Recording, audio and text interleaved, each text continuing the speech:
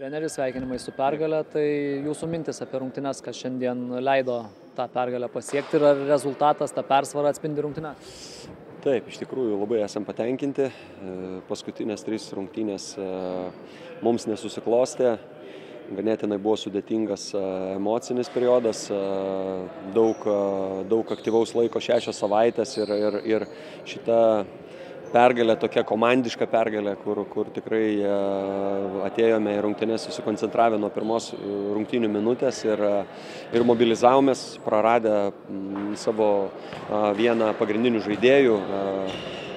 Paulių ir, ir, ir, ir žodžiu tikrai visi atėjo nusiteikę ir džiaugiamės, kad, kad planas, kurį, kurį, kurį treneris paruošė, buvo įgyvendintas taip, kaip, kaip ir norėjome.